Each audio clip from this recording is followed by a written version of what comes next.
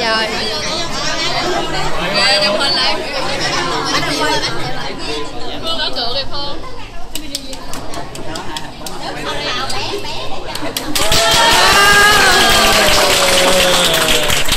đây là bệnh viện.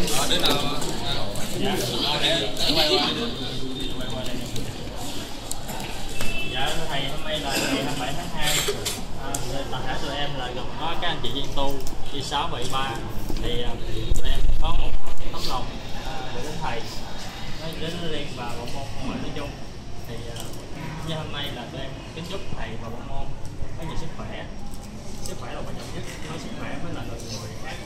Sau đó là kính chúc thầy và các các anh chị luôn có đầy đủ nhiệt huyết trên trên con đường chuyên nghiệp và luôn tràn đầy sức khỏe để đào tạo ra những và, và luôn để đào tạo ra những thế hệ à, bác sĩ tiếp theo cho tụi em cảm ơn thầy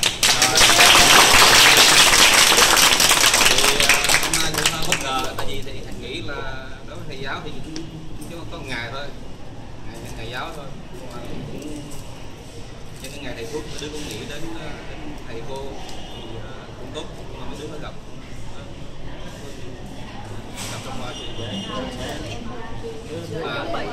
mà lát nữa sẽ Rồi. thôi à, lời thứ nhất cảm ơn.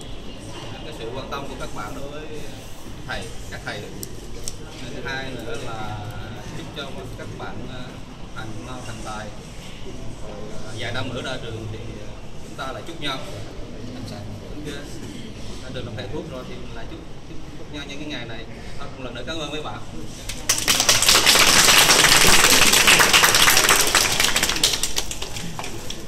Ê, vỗ tay lại, vỗ tay lại.